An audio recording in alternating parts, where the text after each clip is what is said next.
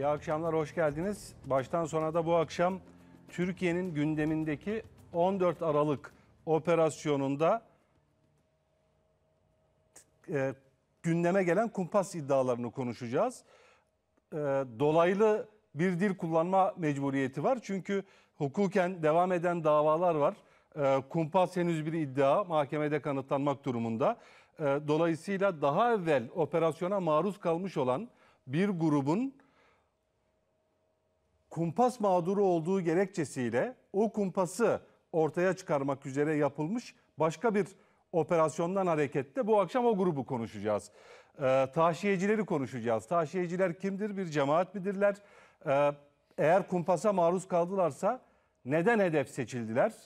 Ee, bir cemaat derse liderleri Mehmet Doğan mıdır? Fikri nedir? Şiddeti ve terörü desteklemekte midirler? Ee, Bütün bunları konuşacağız. Taşiye ismi nereden geliyor? Ne demek? Ee, Bunları doğrudan muhataplarıyla konuşacağız. İlk kez bu akşam canlı yayında Mehmet Doğan yani 4 sene önceki operasyonda örgüt lideri olmakla suçlanan taşiyeciler denilen grubun lideri durumundaki emekli imam e, Molla Muhammed olarak da bilinen Mehmet Doğan e, canlı yayında bize katılacak. Muş merkezdeki evinden şu an ekranda e, buradan hoş geldiniz diyorum. Kendisiyle Hoş bulduk. Teşekkür ederim. kendisiyle canlı yayında e, bu iddiaları, temel e, meseleleri ve e, bu grubun ya da çevrenin fikriyatını konuşma fırsatımız olacak. Yine Taşiye Yayın Evi söz konusu e, bu tartışmalar içerisinde. Taşiyeciler adı da oradan geliyor. Bu Taşiye Yayın Evi'nin kurucusu gazeteci Mustafa Kaplan e, bu akşam İstanbul'da stüdyoda bizimle birlikte. Mustafa Bey hoş geldiniz. Teşekkür ederim. Ee, size de sorulacak sorular var. Ee, gruba daha doğrusu 4 sene önceki operasyonda size örgüt olarak atfedilen isim de taşiyeciler. Ee, o, o işte biraz sorumluluğunuz var. Çünkü Taşiye Yayın Evi'nin kurucusu sizsiniz. Evet. Ee, taş, neden Taşiye Yayın Evi? Bir örgüt müsünüz? Onları konuşacağız sizinle. Ee, ve yine o 4 sene önceki bugün kumpas olduğu iddia edilen operasyonda e, ve sonraki iddianamede yargılamada örgütün finansörü olmakta suçlanan Hüseyin Büyükfırat e, burada bizimle. Örgütün kasası mısınız? E, bu iddialar, isnatlar neden size yöneltildi? Onları konuşacağız. Hoş geldiniz Hüseyin Bey siz de. Yalnız kısa bir konuşmadan sonra bölünmeyelim diye ilk reklam aramızı şimdi veriyoruz. Hemen reklama gideceğiz. Reklam dönüşünde konuklarımızla konuyu e, ve gündemimizdeki temel başlıkları konuşmaya başlayacağız kısa bir aradan sonra.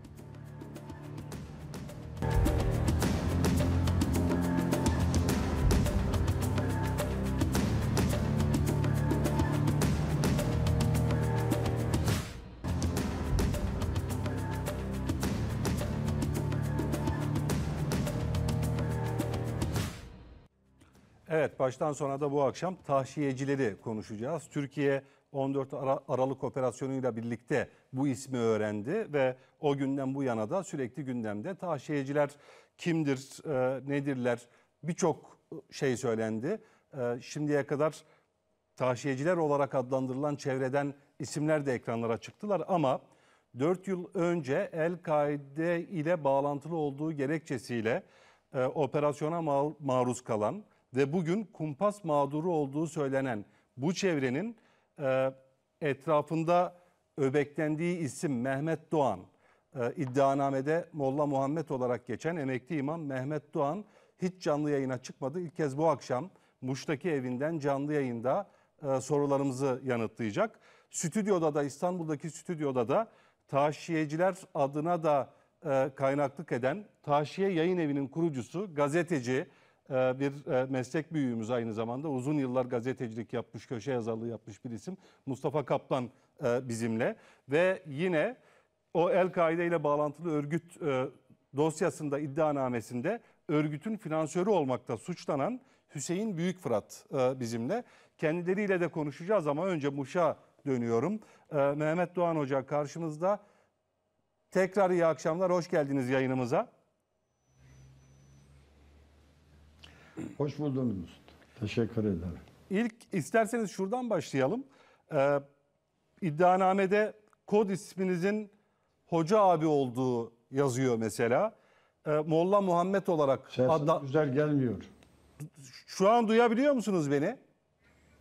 Sesin ten gelmiyor. Anlayamıyorum tam. Peki tekrarlıyorum e, soruyu baştan alıyorum. E, eğer sesimi duyabiliyorsanız teyit ederseniz devam edeceğim. Şu an sesimi net olarak açık bir şekilde alabiliyor musunuz? Tam anlamadım. Soruyu tam anlasam konuşurum. Soruyu anlamadım. Tamam soruyu soruyu baştan alacağım. Eğer şu an beni duyuyorsanız soruyu baştan soracağım. Aha, ne, anladım. Şimdi Peki. biraz duyarım. Bazen kesiliyor, bazen geliyor. Evet. Tamam şimdi Bazen geliyor, bazen gelmiyor. si- bu size yönelik e, örgüt suçlamasıyla ilgili iddianamede kod adınızın hoca abi olduğu söyleniyor. Size Molla Muhammed dendiği söyleniyor vesaire. E, kendinizi tanımlar mısınız? Siz bir cemaat misiniz? Bir cemaatin önderi misiniz? E, hizmet alanınız nedir? Faaliyetiniz nedir? E, oradan başlayalım isterseniz. E, kendinizi nasıl tanımlıyorsunuz?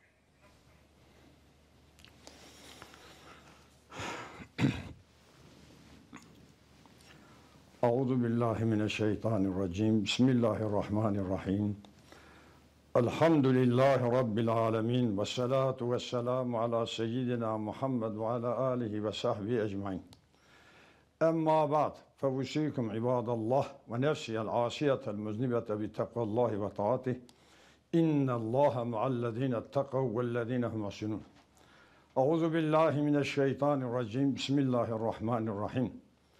قال الله تعالى في كتابه الكريم يا أيها الناس اتقوا ربكم الذي خلقكم من نفس واحدة وخلق منها زوجها وبس منهما رجالا كثيرا ونساء واتقوا الله الذي تساءلون به والأرحام.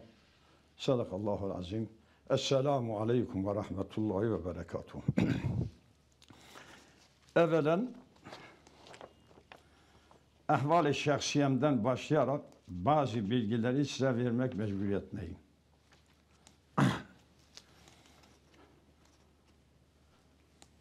Ben Varto'nun Kers köyünden Mele Resul'ün oğlu Mehmet Doğan ismiyle yad ediliyorum. 7 sene 7 yaşımdan itibaren Kur'an'ı hat hatmettim. 10 yaşına kadar babamın yanından tahsil gördüm.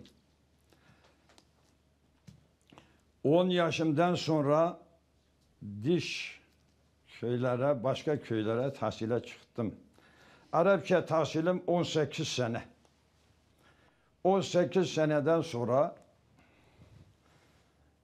ben 15 senede Hacı Hulusi Bey'in o Elazığ'da ben muşta olmak üzere onun dersine devam ettim.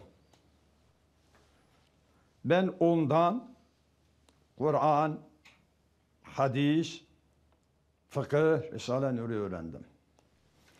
Beriki Arapça tahsilimde de icazet alıncaya kadar okudum ve tedrisat da yaptım kısmı. Şu kısmi hayatım hep tahsille geçti. 40 yaşına yaklaşık girdim o zaman. 40 yaşına girince Hacı Hulusi Bey vefat etti.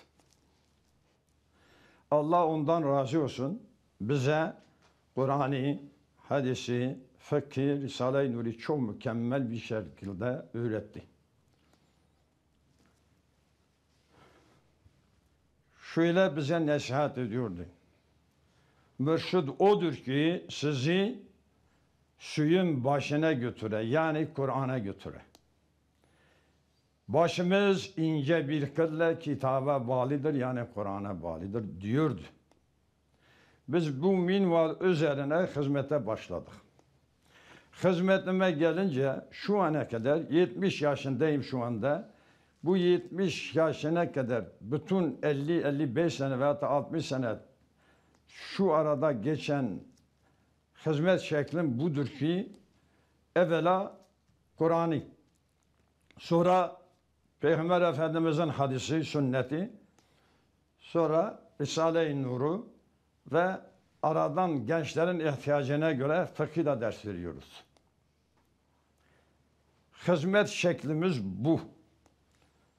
Başka dünyevi bir şeyle alakam yok. Ben münzeviyim. 70 yaşındayım.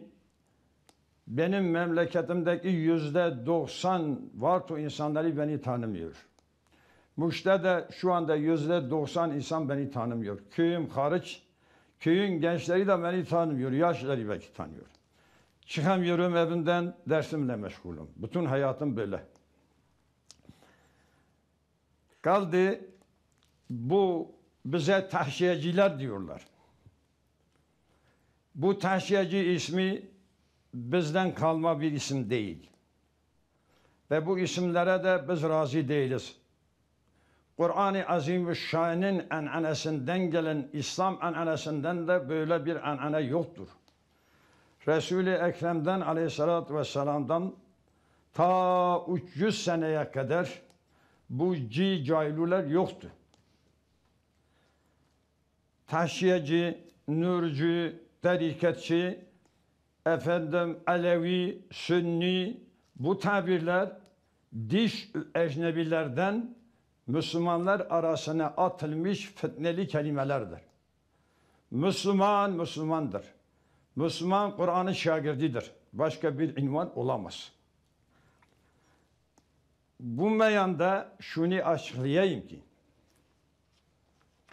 benim şahsi bir davamda bu ana kadar Hacı Hulusi Bey'den aldığım dersle o da üstaddan aldığı dersle dersimiz şu biz Kur'an şagirdiyiz. Her ferdi mümin Kur'an şagirdiyiz. Biz Peygamber Efendimizin sünnetinin şagirdiyiz. Her mümin o Kur'an'ın şagirdidir, o sünnetin şagirdidir. Biz kıyas-ı fıkhaha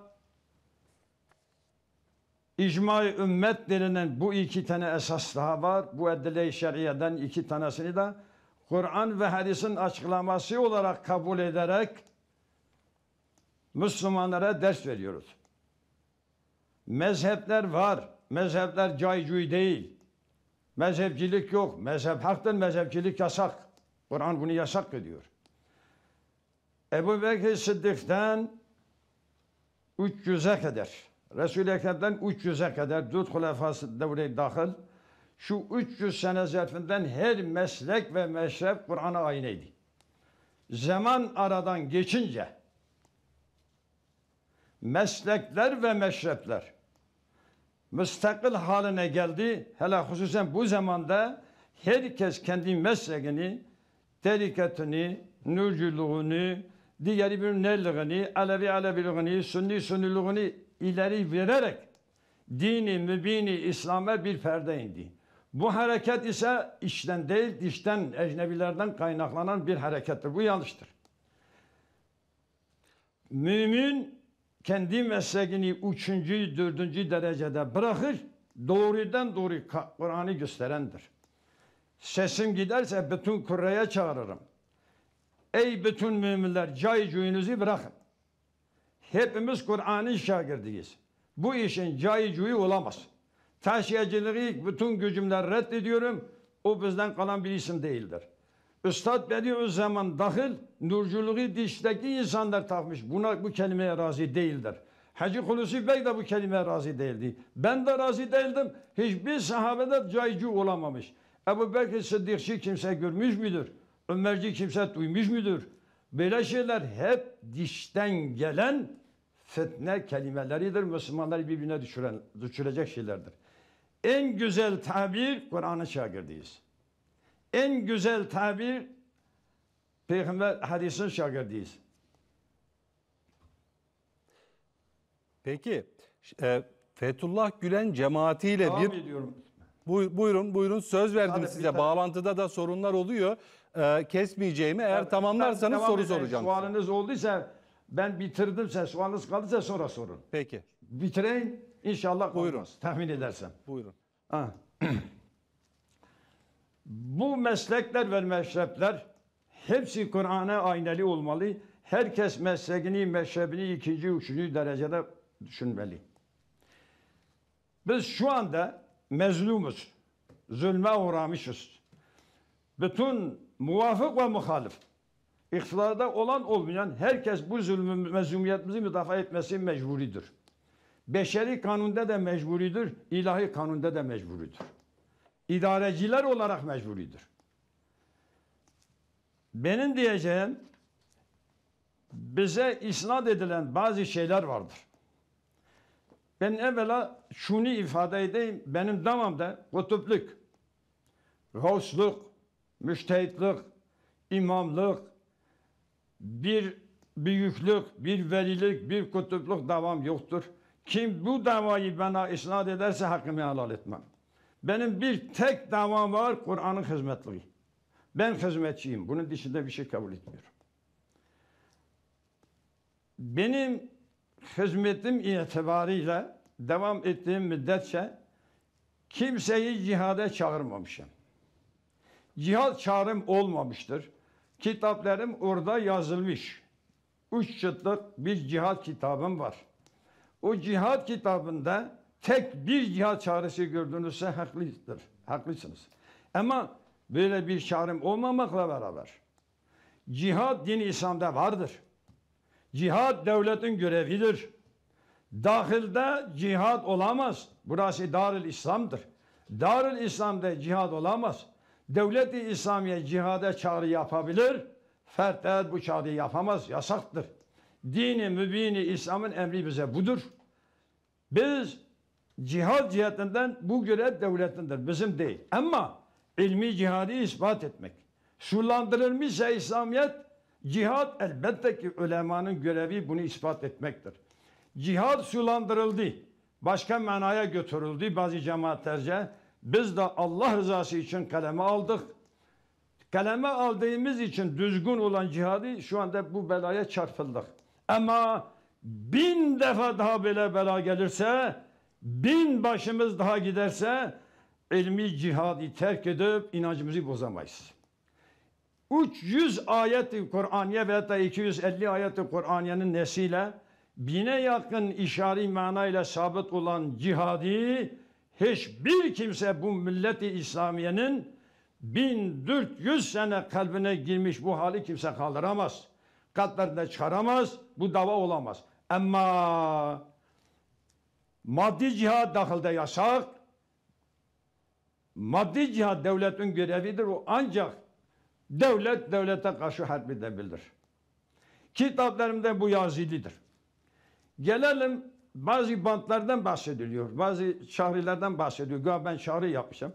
Evvela o bant ya neyse mahkemede hakim bunu reddetti. Bunu soruşturmaya gerek yoktur dedi ve karar verildi orada. Orada dosyada var bu konu. İkincisi böyle bir çağrım olmamış ve olamaz. Ancak hatırlayamıyorum. Çok tarih aradan geçmiş. Ben daha yaşlandım. Bu 25 sene, 20 sene belki bir meseledir şimdi konuşuyorlar.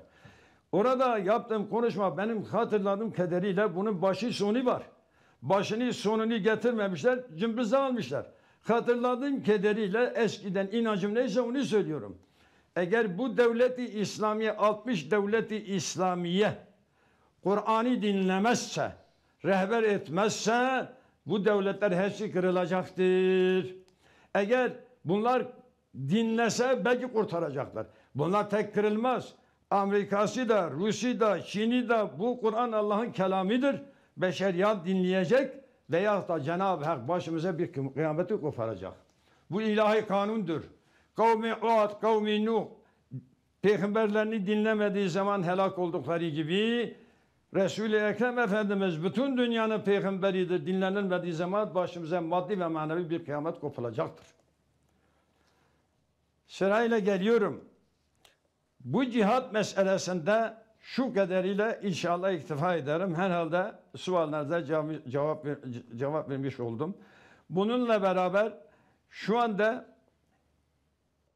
70 yaşına geldim. Şu yaşıma kadar piyasada bulunmadım. Hiçbir siyasete girmedim. Hiçbir partiye mensup olmadım. Hiçbir örgütte mensubiyetim tespit edilmemiş. Hiçbir derneğe bağlı olduğum tespit edilmemiş. Camimde bile o derneğe girmemişim. Araştırabilirler. Bütün hayatım müzeviliktedir. Sabahleyin kalkıyorum 6'dan artık saat o zamanın mevsime göre değişebilir. Akşamın ta yatma zamanına kadar ders başındayım. Dersimden dışarı çıkmamışım. Radyo televizyonu dinlememişim. Bugüne kadar hele böyle bir mecliste bulunup halka hitap etmemişim. Alışkan değilim. Belki şu andaki sesim, harekatım bugünkü cemiyette uymazsa da ku- kusura bakmayınız. Çünkü böyle bir şey ne görmüşüm ne tecrübe geçirmişim. Ben medrese hocasıyım. Her şeyi medrese terazisiyle tartarım. Sizin ince teraziyle tartmaya gücüm yok. Kaldı şurada biz ne için acaba yakalandık? Suçumuz ne? Ben neşeniz gelsin diye iki tane büyük suçumu söylerim. Sonra diğer şeylerin izahatına geçeceğim. Benden karakolda soruldu. Sen damadından bir çift ayakkabı istemişsin. Bir hoca, bir alim bir çift ayakkabıyı ister mi insanlardan? Dedim efendim, siz konuşmamın hepsini almamışsınız. Konuşmanın başı sonu var. Damadıma dedim, gelinimiz yarın gelir, oğluma söyle, bana bir çift ayakkabı alsın göndersin. Molla Muhammed Doğan'ın sucu bir çift ayakkabıyı damadından istemekmiş. İki, burada beni dinleyen, bir sene takibe alan, Muş'un emniyeti bir sene takibe aldıktan sonra ne suçu var demişler. Suçu büyük bilmediğiniz çok şeyler var. Söyle. Suçu diyor telefonu açmış. Bir adamdan bir defa bir kilo elma bir defa da iki kilo elma istemiş. Bu adam suçludur. O elma meselesi de ben bizim yanımda çalışan bir çocuk var. Çocuğa dedim ki içerideydi telefonu açtım. Dedim ben rahatsızım bana bir kilo elma getir. Bir defa bir şey iki kilo elma getir. Benim yanımda çalışan çocuk paramla bana getiriyor. Suçum budur efendi. Bu suç unsuru olmuş, çok büyükmüş. Gün bir sene Muş'ta milleti tahrik ettiler. Bunun suçu büyüktür. Ulan nedir? Sonunda çıktı, çöp gittiği zaman o müdür. Suçu nedir? Bir kilo elma bir defa, bir kilo elma da bir defa istemiş. İşte benim suçum. İşte benim suçlamam. Alim sıfatıyla nasıl bir kilo istiyor, elma istiyor? Alim sıfatıyla nasıl damadından diyor ki bir çift ayakkabı ver. Dosyamı açın bakın. Ee, Ben cemiyetin ruhuna hitap ediyorum. İnsaniyetlerine hitap ediyorum. Gelin siz bu mezlumiyete ne diyorsunuz? Ne, ne derseniz deyin. Ben de diyorum ki şu milletin şerefiyle, hısyetiyle, devletiyle oynayan diş bir ecnebi örgüt şu milleti İslamiye'yi meskhere haline getirmiştir. Tek cevabım budur. Şimdi izin verirseniz e, ben siz de az önce söylediniz. Canlı yayınlara, televizyon röportajlarına alışık değilsiniz. Böyle bir tecrübeniz yok. E, bir de siz Muş'tasınız. Ben İstanbul'da. Yayın öncesinde de konuşmuştuk. Ben de ilk girişte ilk soruma vereceğiniz cevabı sözlerinizi tamamlayıncaya kadar kesmeden dinleyeceğimi söylemiştim. Benim beklediğimden daha uzun Ben bir cevap oldu. Bütün sorularınıza cevap veriyorum. Şimdi Tabii, cevap veriyorum. tabii topluca cevap veriyorsunuz. Ee, sağ olun. Benim Tamam, soracağım benim soracağım soruları da Bak arada şimdi, e, sonra bütün sorularınıza cevap vereceğim. Dedim ya bir tane kaldıysa sorun. Biraz sabır et. T- tamam. Şimdi Sadece efendim sadece sağ izin verin dinleyeceğim size. Soru sormayacağım. Sadece şunu söyleyeceğim. Hani e, siz de dediniz ya sizin usulünüze uymayabilir diye. Şimdi bu izleyicilerin de alışık olduğu bir usul değil. E, yani izleyiciler e, şey beklerler, diyalog beklerler. Ben size ikinci bir soru sorayım. Sonra tekrar sizi dinlemeye geçeyim. Sizin bu bahsettiğiniz neyi soruyorsunuz? Lütfen sor, sor, lütfen sor. Hakkınız- Şimdi ben diyorum ki ben sizin su, ben bitireyim. Sualınız kaldıysa o zaman sor. Bitireyim. Evet. Hakkın, hakkın, hakkınızdaki takibat terör örgütü liderliği suçlaması yüzünden 17 Ha, ay ben yattınız. soruyor. Ben işte onu soruyorum. Ha, Ben de onu oraya geleceğim şimdi. Tamam. Ben onun ana sebebini bilmiyorum. Sana işte onu cevap veriyorum. İşte biz bunun sebebi bu. Evvela cihat meselesi sulandırıldı. Bir. Dedim ya şaka itibariyle mühim bir mesele söylerim. Konuya döneceğim dedim. Biz şu anda mesela cihat meselesini size açıkladım. Sırayla geliyorum. Cihatla ilgili kitap benim suçumdur. Çünkü bazı cemaatler tarafından şu cihat sulandırıldı, tahrif edildi. Kulağımızla duyduk, gözümüzle çoklarını seyrettik. Kitaplarda da okuduk. Onun için ben ilmi olarak o cihat meselesine cevap verdim. İki, tesettür meselesi tefer- te- furuattır denildi. Furuat denildiği zaman kelime rahat, hoş, evet doğrudur. Amel itibariyle tesettür-i şer'i nedir? Furuattır.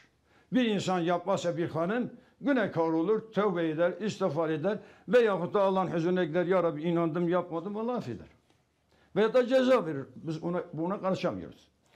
Ama itikadi itibariyle şu fer'i değil esastır. Bir insan tesettürü şer'iye inanmazsa tehlike var. Biz de bu Müslümanların imanının tehlikesini gidermek için bunu yazdık. Bununla beraber işte suçumuz bu. Bu kitabı yazdığımız zaman hemen muarızaya karşı muarıza saydılar. Suç unsuru kabul ettiler bunu. Kimi rahatsız etti? İlmen cevap vermediler. Bu sefer bu şekilde bizi yakaladılar. Daha devam ediyorum. Kimi Bir rahatsız etti? mesele daha mesela nedir? Evet. Bir meselemiz de şudur ki haşr-i cismani. Haşr cismanidir. Cennet var. Cennetteki huriler de var. Haşr cismanidir. İnsan cesediyle cennete gider veya da cehenneme gider. Azap da cesededir. Ruhadır. Cennet de mükafatı hem ruhadır hem cesededir. Biz de bu huriler meselesini, cenneti ruhaniye meselesi, cesetle olan her şeyi ispat edince bu bazı cemiyetlerin, cemaatlerin hoşuna gelmedi, hücuma maruz kaldım. Bunu da neyle ispat ettim?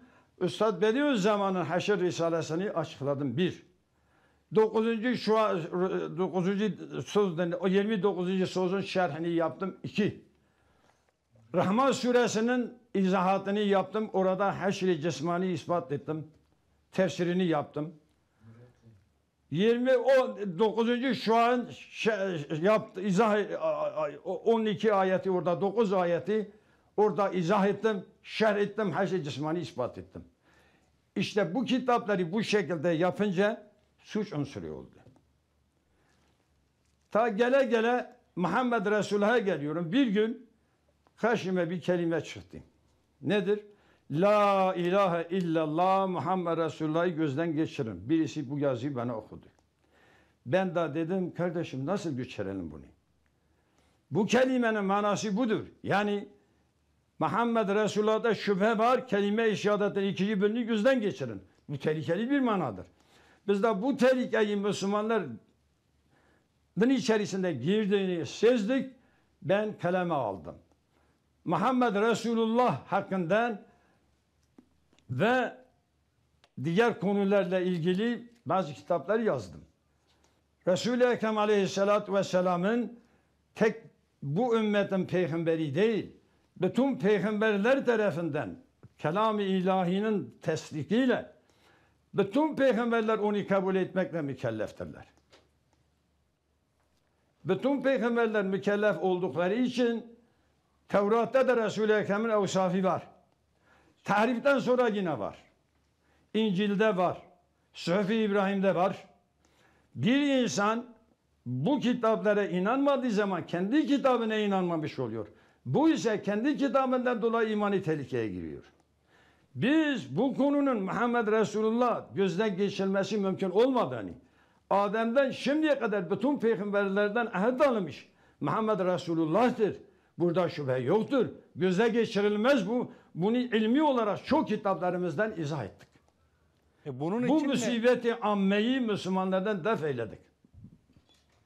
Bu kimi rahatsız etti? Yani sizin Muhammed Resulullah demeniz kimi rahatsız etti? Ya da Muhammed Resulullah'ı gözden geçirmek lazım diyen kimdi? Siz kime itiraz E, ettiniz? ya onu ne yapacağız? Bunu okudum. gör- Ama izleyici yazıyor. anlamaz ki. Bana yani bizi, bizi Bunu- izleyenlerin anlayabilmesi için meseleyi yani sizin Fethullah Gülen cemaatiyle fikri bir ayrılığınız, bir ihtilafınız var mıydı? Ee, ona mı getiriyorsunuz meseleyi? Evet, mesele oraya getiriyorum.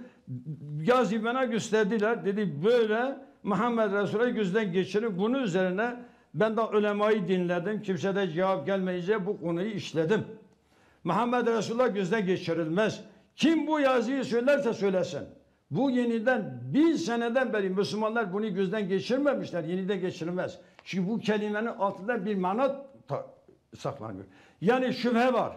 Bir daha düzeltin kendinizi. Haşa sümme haşa. Hazreti Adem Muhammed Resulullah demiş. Hazreti Muhammed Aleyhisselatü Vesselam demiş. Bütün peygamberler de bu kelimeyi demişlerdir. Bu kelime bütün peygamberler arasında mü- müttefakan bir kelimedir. Resul-i Ekrem'de bu ana kadar da gelen bu kelime ana ile gelmiş. Bunu bozmak kimsenin haddi hukuku yoktur. Ancak bu kelime böyle denilse o zaman Müslümanların itikadi sarsıntıya gidiyor.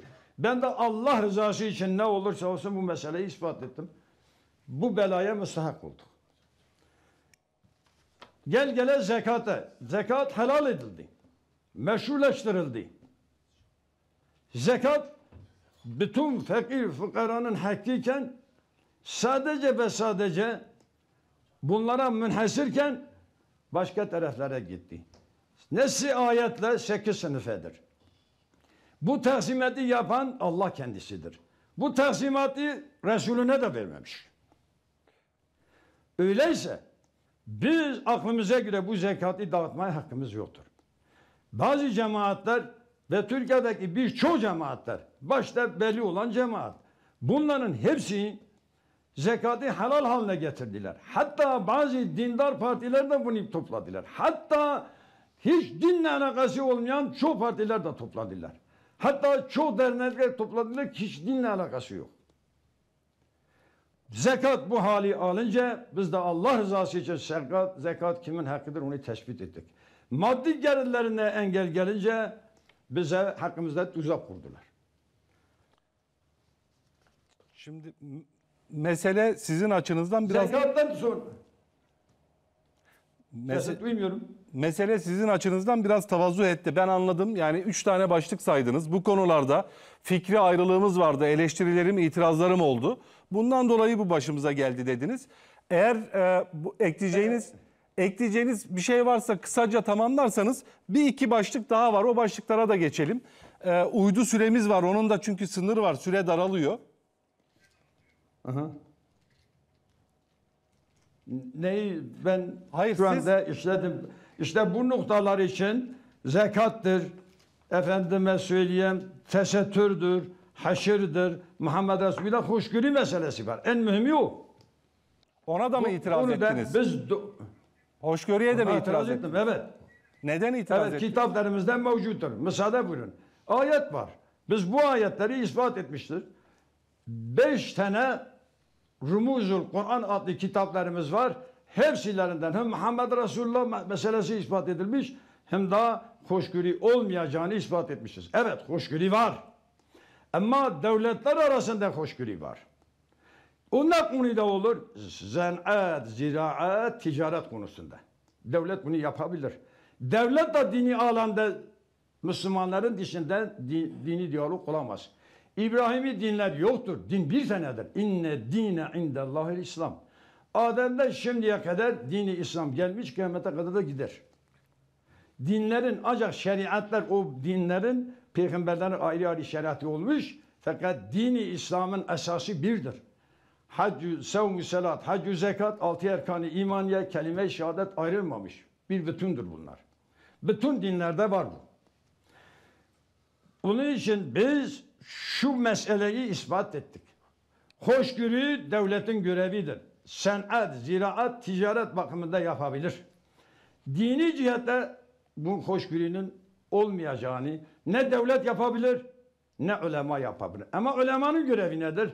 Şu dini mübini İslami net bir şekilde açık bir ifade ile de Ben e, açık bir ifadeyle bütün millete tebliğ etmekten. İster mümin ister kafir. Şu dini mübini İslami serbesttir. Alim gidebilir. Yahudi'ye de anlatır, Hristiyan'a da anlatır. Dini mübini İslami anlatır, çıkar gelir. Ama otursa onlar da batılını anlatsa Kur'an-ı Azimüşşan diyor ki kalk gel. Dinini anlat kalk. Onların an- dinlerini anlatmaya müsaade yoktur. Alim dinini anlatır kalkar. Mücadele etmez. Münakşe etmez. Silaha el atmaz alim. Alimin görevi bu değil. O devletin görevidir. Alimin görevi net, dahilde ve hariçte net dini İslam nedir? Kur'an-ı hadistir. Bunu anlatacaktır. Dolayısıyla icmadır, kıyastır. Risale-i Nur'a gelince Risale-i Nur da tarif edildi. Risale-i birçok yer- yerleri zedelendi. Mesela biz beş tane kitap bu konuda yazdık. Bunlar da Risale-i Nur'da yapılan tarifleri ifade ettiler. Bunların başından gelen bir tane daha var ki Üstadın Münazerat adlı kitabını şerh izah ettik. Çok tevilat-ı fasidede Üstad Bediüzzaman'ın cümlelerini kurtardık. Üstad Bediüzzaman da haşa haşa hoşgörü gösterildi. Çok çeşitli adlar altına girdi. Çok kelimeleri tarif ettiler Risale-i Nur'un. Biz Risale-i Nur'un tarif edilmemesi için gayret gösterdik. şimdi bütün mesele Reddül Evham denilen, Reddül Evham denilen beş kitabı şerh ettik ve bununla beraber evhamları def etmek için Münazerat kitabını da tamamen şerhu izah ettik. Bu vazifemizi yaptığımız için bazı insanların hoşuna gelmedi. Başımıza bu bela ve musibet geldi. Bizim hiçbir suçumuz yok. Bak ben yakalandım. Evimde hiçbir silah yakalanmamış. Muş'taki evimde de, İstanbul'daki evimde de. Ben sabah namazında evvel kalkmıştım bir saat evvel Allah kabul etsen teheccüd kılıyordum. Teheccüdü kılarken o anda baktım kapı çalınıyor. Kapıyı açtım adam içeri geldi. Evvela farkına varmadım sonra açtım dedi ben polis. Peki. Bir oğlum orada vardı. Kimse evde yoktu dedim bak bunlara. Baktım ben bunlarla hiç ilgilenmedim. Gittim namazıma devam ettim. Rabbim şahittir hiç ilgilenmemişim. Arkamı dönüp bakmamışım. Sabah namazım yıkıldıktan sonra döndüm. Dedim kardeşim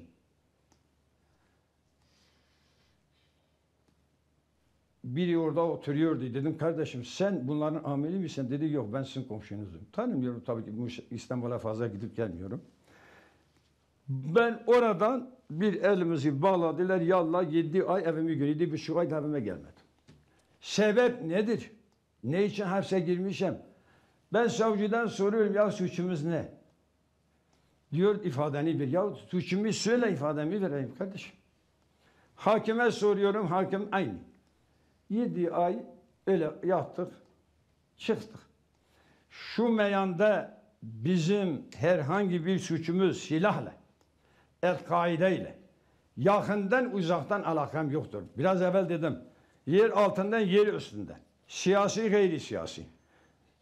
Parti ve gayri parti. Hiçbir şeyle alakam yoktur. Evimden başka hiçbir ferdi insanla alakam yoktur.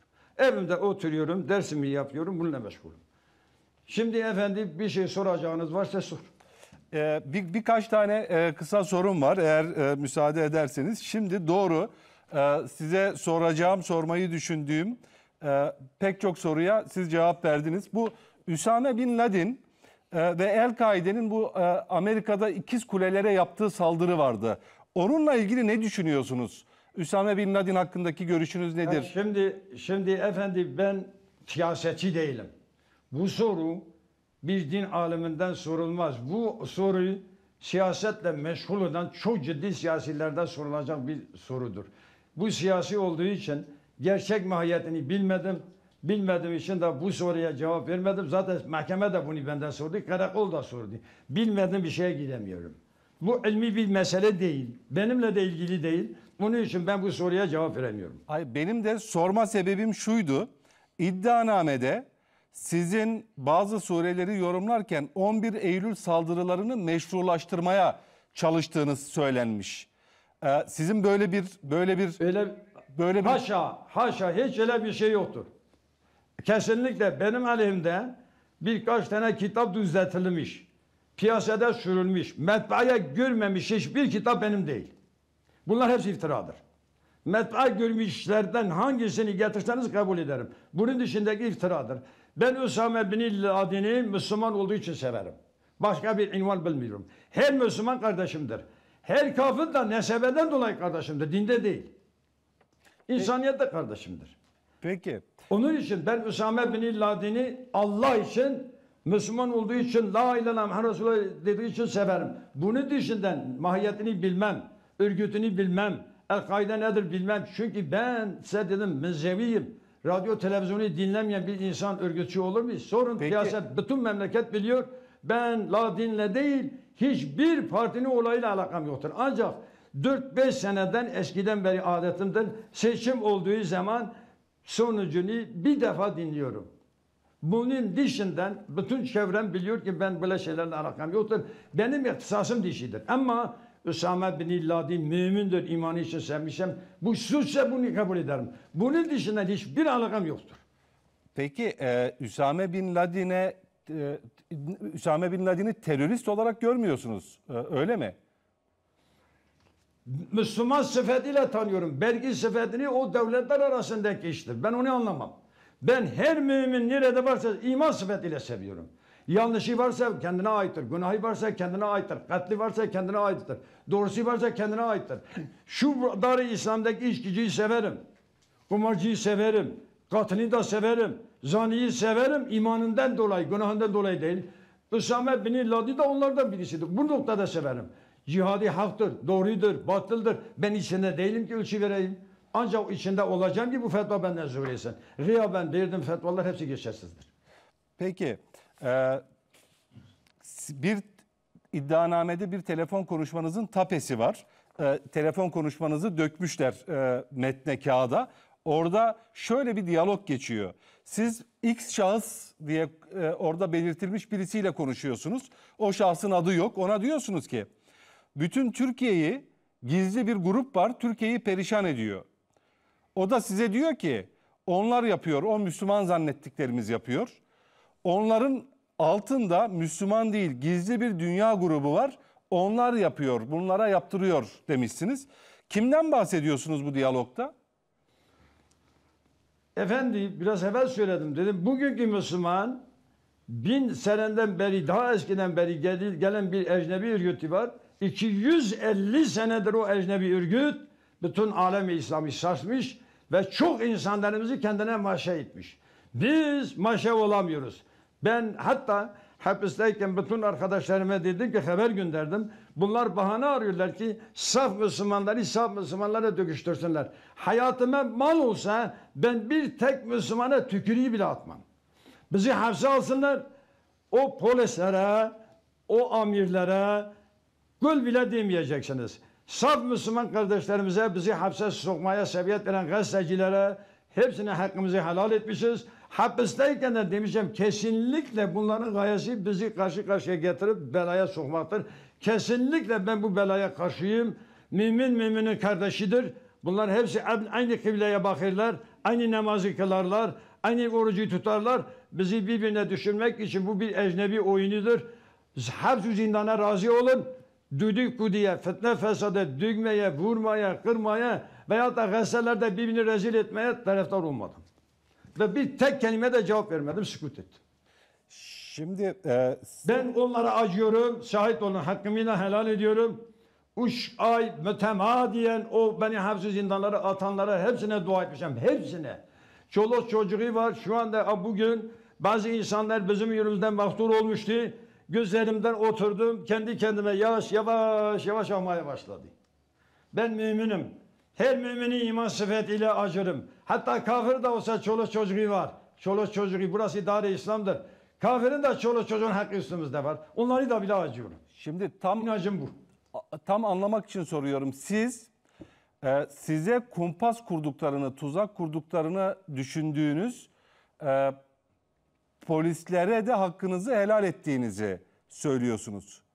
Ve onlara dua ettiğinizi. Müminlerin hepsi iman sıfatıyla bilmeyerek o oyuna gelenlerin hepsine hakkı helal ettim. Şimdi- Ama bilerek isteyerek.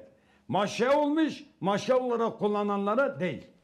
Peki o 14 Bunlar saf Müslümanlardır, kardeşimizdir. Ha. 14 Aralık'ta yani geçtiğimiz pazar günü e, bir operasyon yapıldı. Size yani bu taşiyeciler Evet. örgütü denen e, e, çevreye karşı kumpas kurdukları iddiasıyla bir takım insanlar gözaltına alındılar. Onların da bugün mahkemede haklarında bir karar verildi. Bazıları tutuksuz yargılanıyor. Bazıları tutuklu yargılanacak dört tanesi.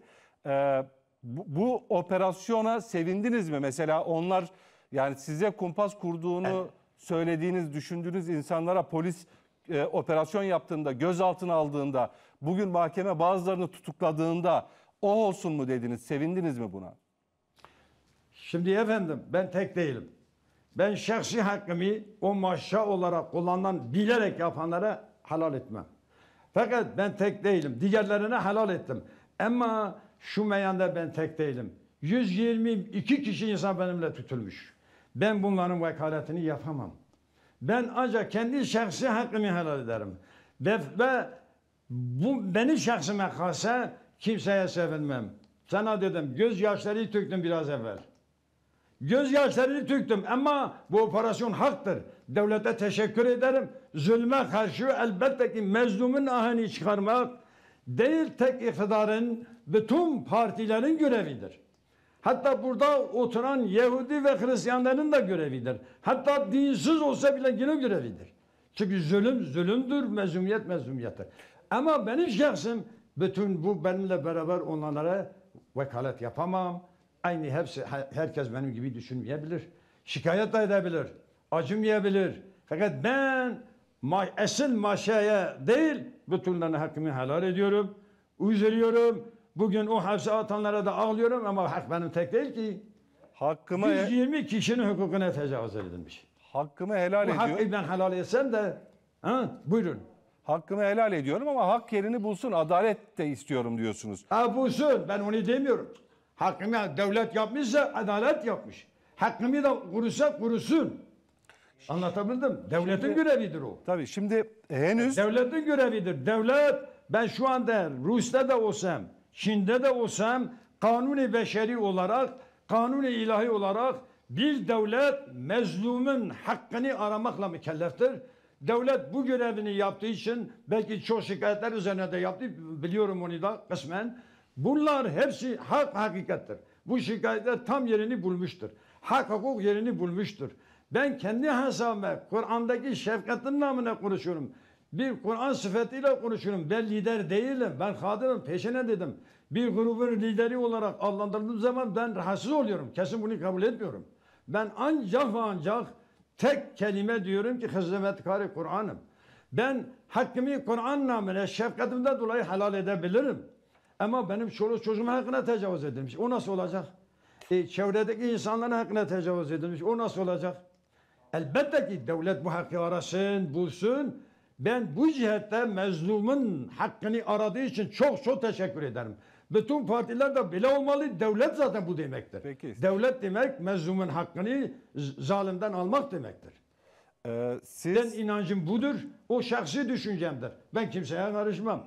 Ben şu anda o hapse girenleri de yine alıyorum. Alıyorum. size Mahkemeye de alıyorum. Bu beşeri fıtratindir.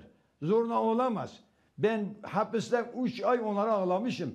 O bütün arkadaşlarım ağlamamışlar. Bunların hakkı var, hukuki var. E benim hanımım ağlamamış, çocuğum ağlamamış. Bunların da hakkı var. Ha, Ben tek değilim ki. Onun şimdi için bunların feraza desem ki devlet müdahale etmesin, o zaman hepsinin hukukuna ben, ben de o zalimlerde bir zalim oluyorum. Hak yerini bulsun. Bu şahsi görüşümdür, bu şahsi inancımdır. Bu ilimden gelen bir sıfattır. Bu merhametimden gelen bir sıfattır. Bu Hacı Hulusi Bey'den, Üstad'dan aldığım bir Kur'an-ı dersin şefkatidir. Biz herhangi bir kutbiyet, gavsiyet, mehdiyet, mekkam, şöhret, rütbe değil. Bizim gayemiz bütün insanları kurtarmaktır. Hatta ve hatta ha bugün yine bir ara bir hal cuma günü çok şefkatle geldim dedim ya Rabbi ha bu ümmetin bütün azabını bana ver ahirette cezalandır bu ümmeti Muhammed'i kurtar. İçkicisini de kurtar. Kumarcısını da kurtar. Zinakarını da kurtar. Hepsini kurtar kurtarıcı sensin ya, Ras ya Allah.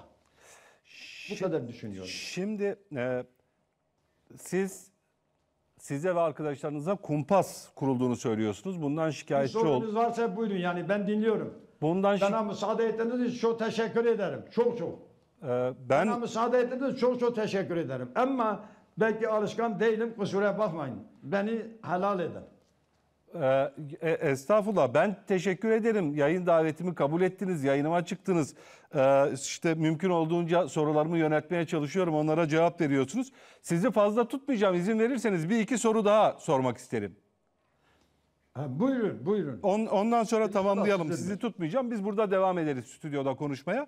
Şimdi size ve arkadaşlarınıza kumpas kurulduğundan yakınıyorsunuz, şikayet ediyorsunuz ve hak yerini bulsun diyorsunuz.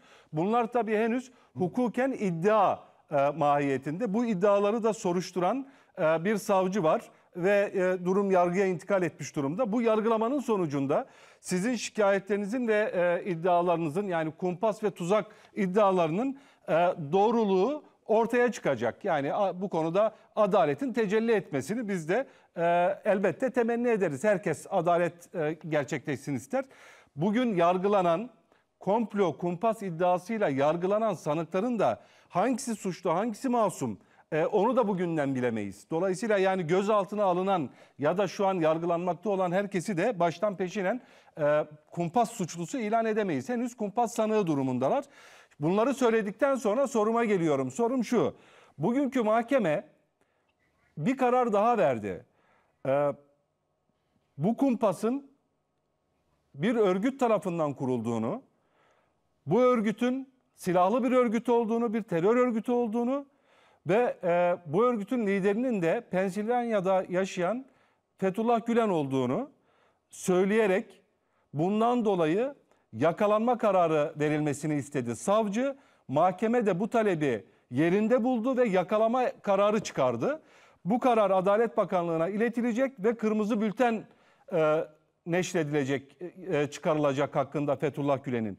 Siz bu kararı duyduğunuzda yani Fethullah Gülen'le ilgili kırmızı bültenle yakalama kararı verildiğini duyduğunuzda ne hissettiniz? Onu da merak ediyorum.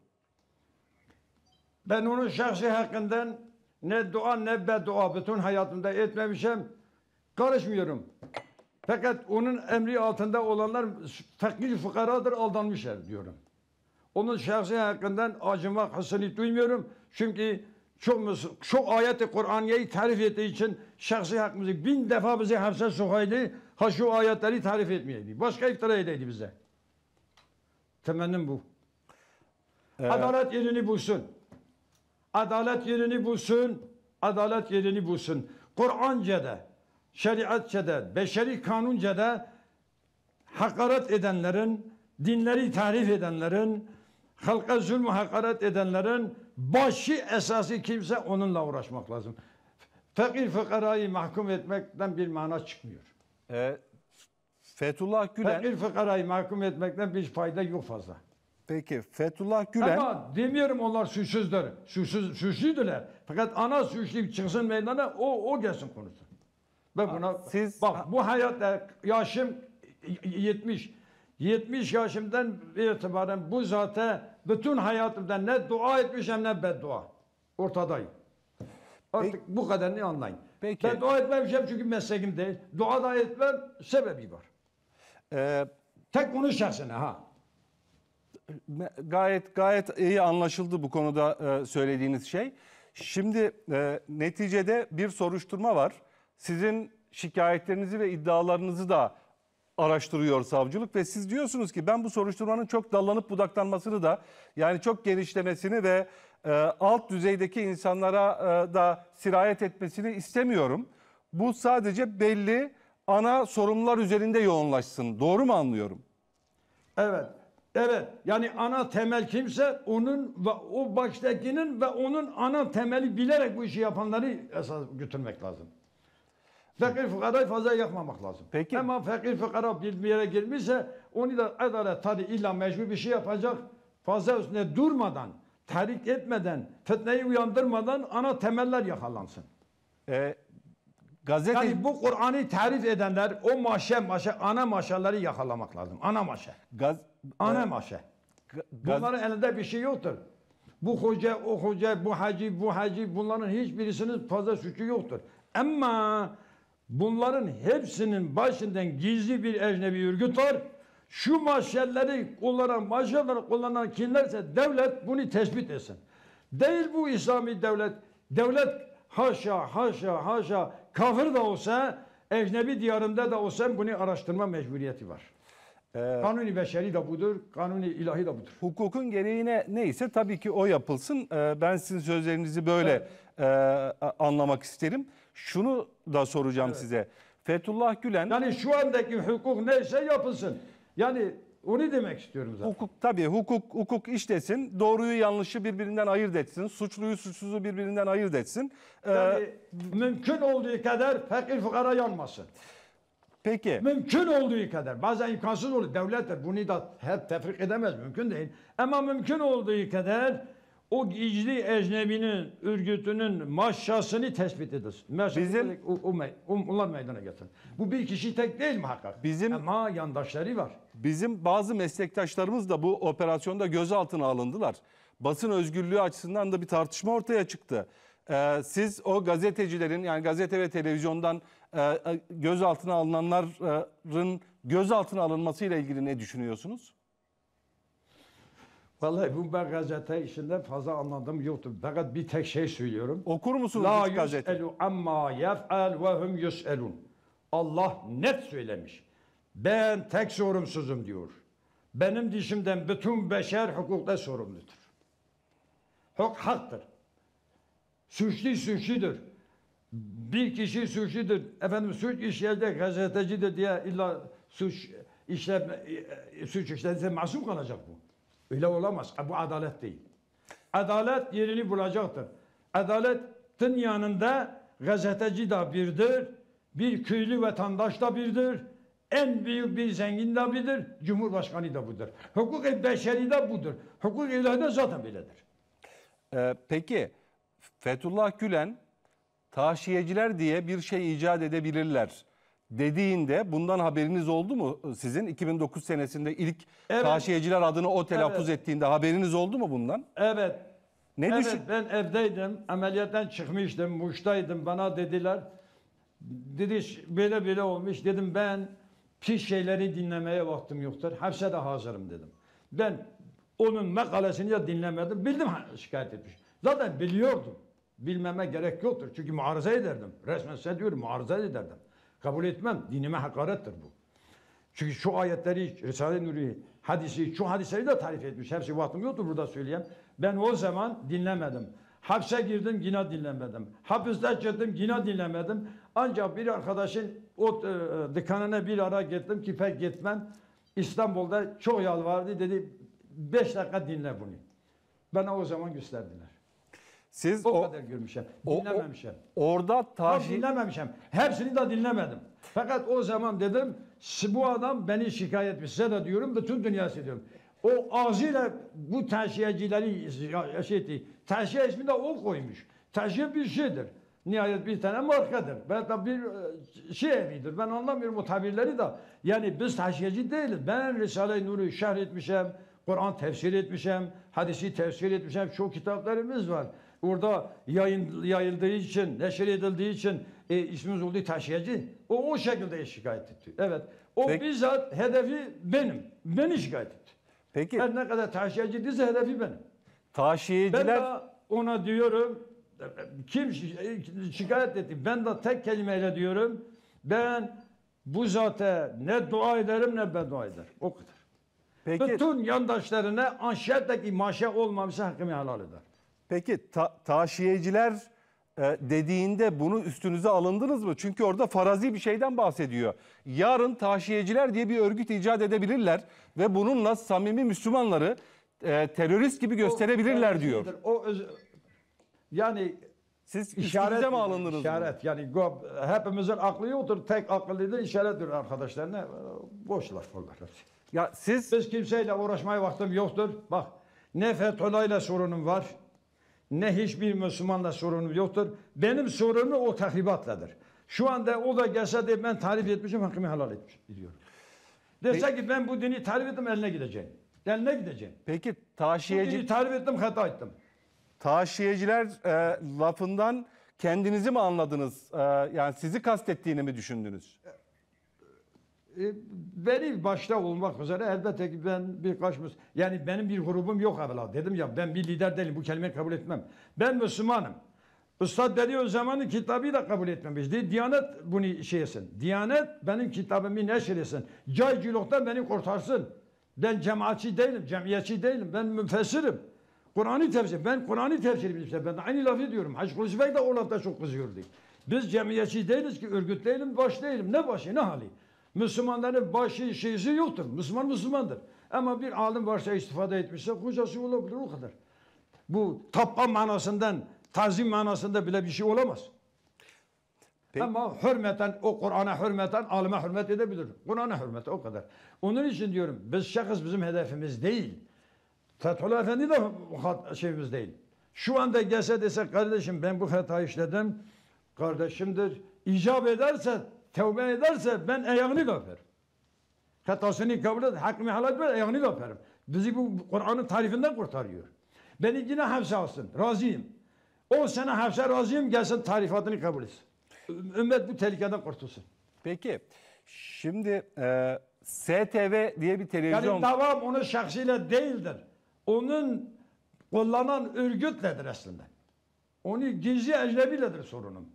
O fıkara zebalidir, o alet olmuş gidiyor. O Şimdi kadar. bunlar iddialar tabii. Siz e, bu işin arkasında gizli bir örgüt olduğunu, bu gizli örgütün birilerini kullandığını söylüyorsunuz ve düşünüyorsunuz. Ama bunlar e, sizin Evet, görüşlerinizdir. İspata muhtaç görüşlerdir bunlar. Yani siz bir yorum yapıyorsunuz. E, bu somut delile dayandırabileceğiniz bir şey değil.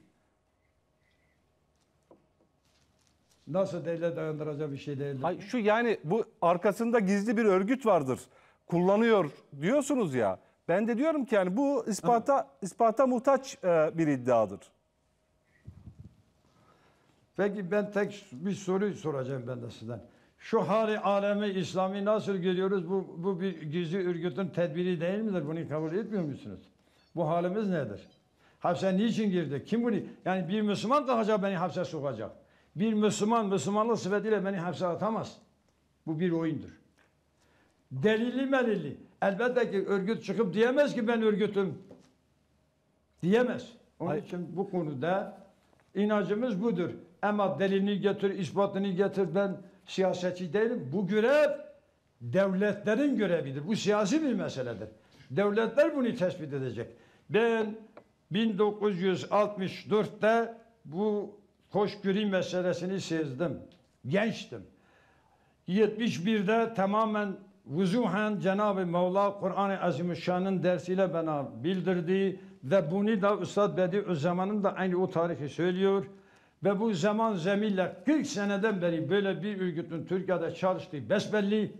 Onun için biz burada artık şunu örtbas etmekle, şöyle etmekle, böyle etmekle olmaz. Davamız Fethullah Efendi ile de değil, şahsıyla da değil. Bizim davamız o tarifledir. Şey, tarifi yapan o zekat meselesi ona has değil. Tarifi yapan tek şey efendi de değil. Şu kitabımız sadece ona hitap etmiyor. Bak Fethullah Efendi'nin ismi, cismi, resmi kitabımda yoktur.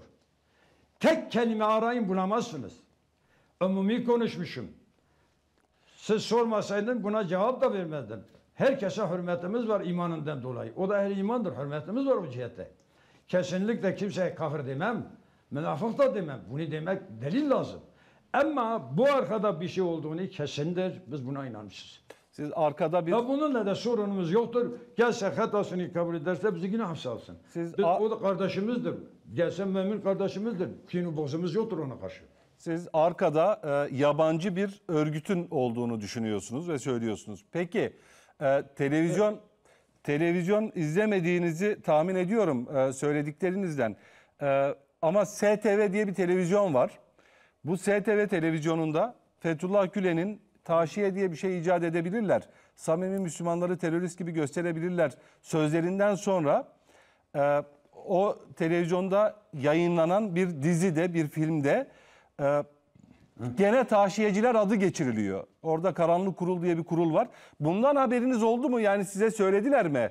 Bir, bu televizyonda bir dizi var ve burada Karanlık Kurul Evet, denilen ya dedim dedim haberim oldu takip etmedim. Dedim tamam bizi hapse atarlarsa aslında ne yapayım? Ha siz bu, 8 ay evvel haberim oldu. 8 ay sonra hapse girdim. siz bu Bildim ki hapse gireceğiz. Daha ne yapalım? ha siz bu, Yapılacak bir şey yoktur. Bana diyorlar "Dir- müracaat et. Kime müracaat edeyim? Hakim kendisi karar verirse, hem suçlu beni yaparsa hem karar verirse ben kime müracaat edeyim? Müracaat edecek bir yer daha yok. Artık şu konuda ben tek kelime söyledim. Benim ne Fethullah Gülen'le ne hangi çünkü bu adam Müslümandır zahire göre. Batını ben belki ben de Müslüman değilim. Haşa sümme haşa bir kere. Kalbi ancak Allah bilir. Zahire göre bu adam bir Müslümandır. Benim zerre kadar bir kinim şahsına karşı yoktur.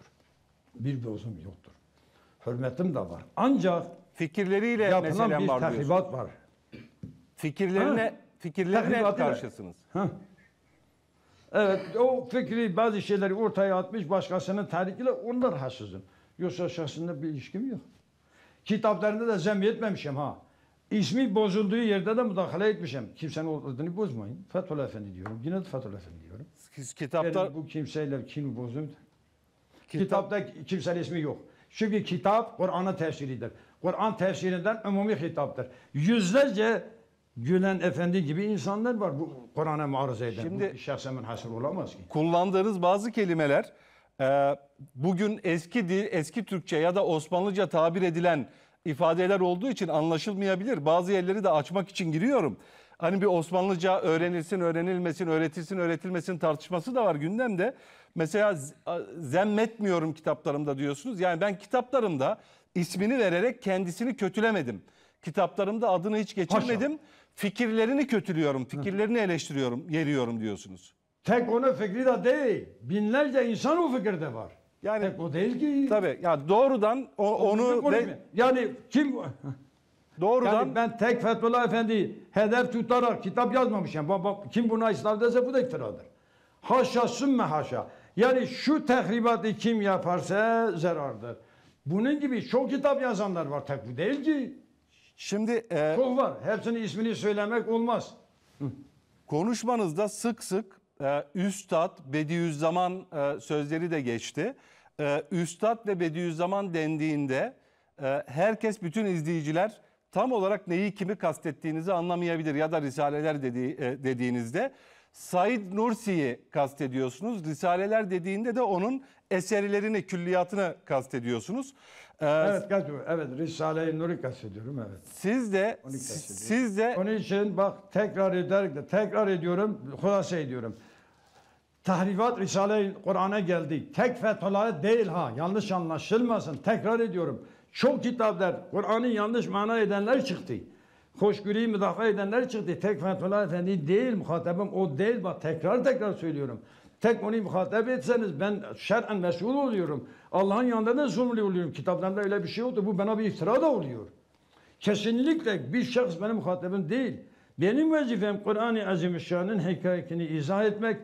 Karşısından bazısına taş gitmiş vurmuşsa ben karışmam ona. Kitaplarımda bir tek şahsın fikrini söyleyip sonra çürütmemişim. Öyle bir şey yoktur. Fethullah Efendi bile dedi, falan kes bile dedi, bile çürütmüş. Değil. Sadece ayeti almışım, açıklamışım. Bediüzzaman'ın kitaplarını almışım, açıklamışım. Şahıs, fert tayin etmemişim. siz Fethullah Gülen'le Yani şahıs benim muhatabdır. Ancak Fethullah Efendi bizi şikayet etti. Ben işte sebebini ben tahmin ederim budur. Kesin ona desem bu, bu kitaplar bu yüzde 99 öyle inanıyordum. Çünkü bir serhanım tokamamış bu zaten. Peki. Nefhatten başka bir şey mi olmamış? Hürmetten başka bir şey mi olmamış?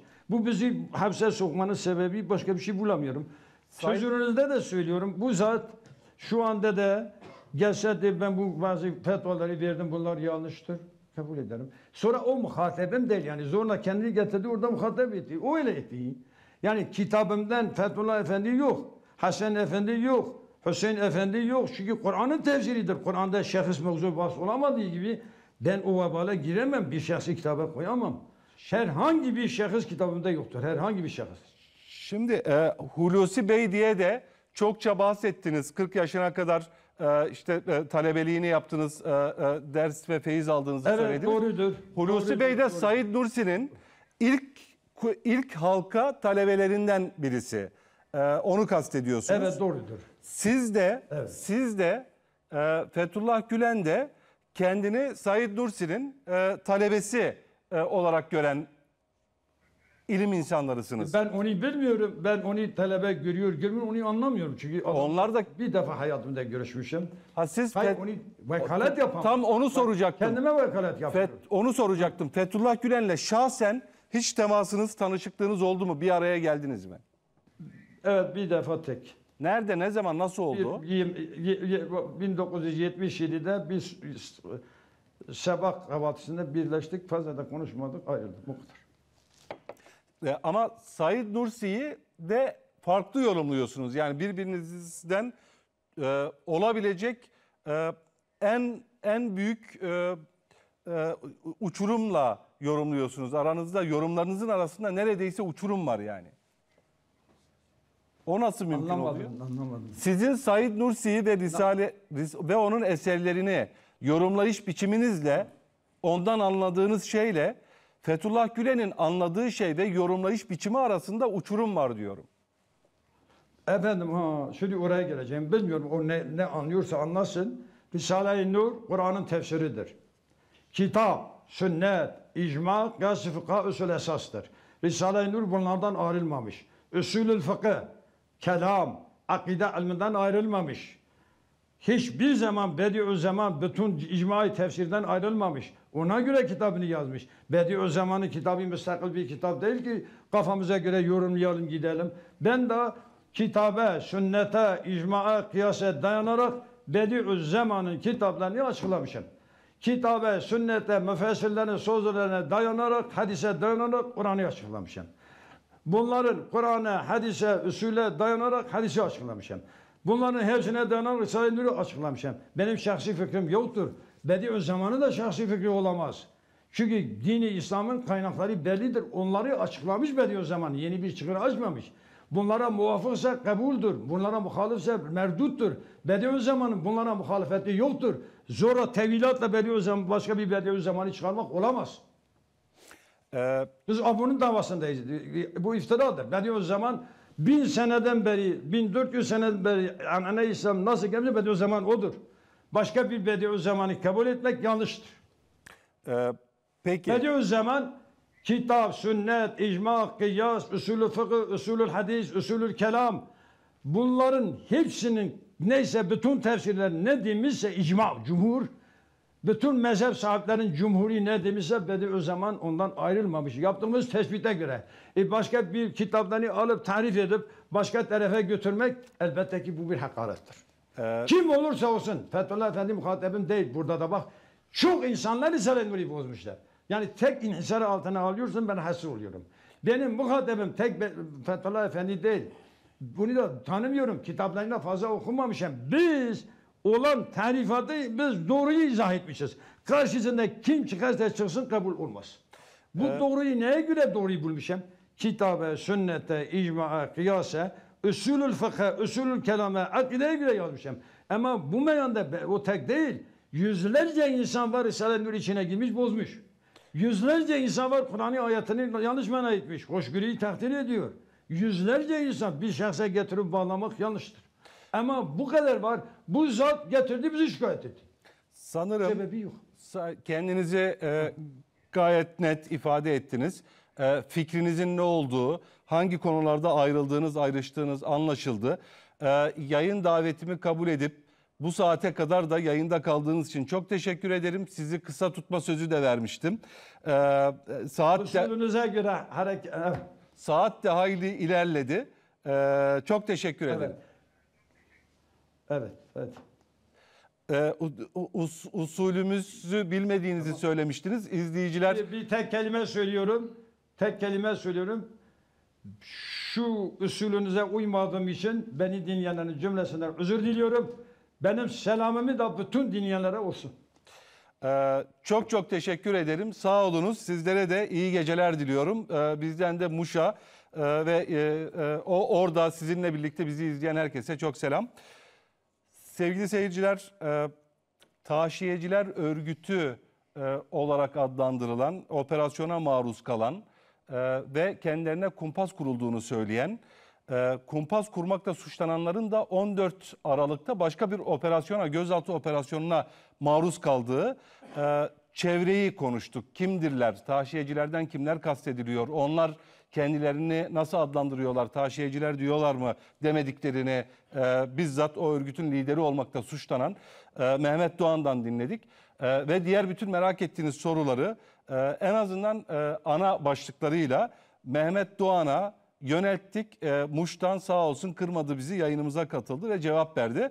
E, iki e, isim daha var stüdyoda benimle birlikte. Birisi Mehmet Kaplan, Taşiye Yayın Evi'nin affedersiniz Mustafa Kaplan. Mehmet Doğan'dan Mehmet Kaplan'a geçtim. Birisi Mustafa Doğan. Gazetecidir Mustafa kendisi. Kaplan. Aynı zamanda gene mi Mehmet dedim? Ya bu sefer de Doğan dedin. Kaplan. Peki Mustafa Kaplan. Mustafa Kaplan gazeteci ve e, Taşiye Yayın Evi'nin kurucusu çok da keyifli. Cezaevine atıldığında da böyle güldüğünü böyle, söyledi. böyle. Sürekli neşeli, e, e, güleç e, birisi.